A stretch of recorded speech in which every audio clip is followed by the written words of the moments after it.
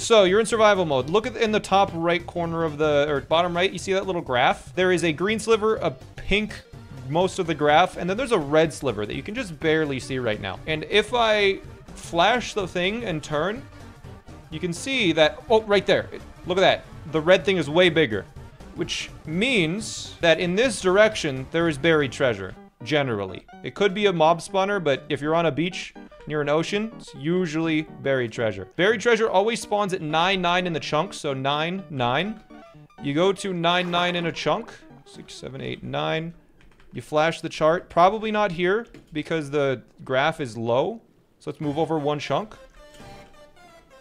All right. The It still has red on the chart. Let's dig here.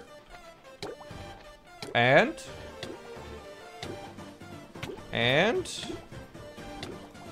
We found buried treasure without a map.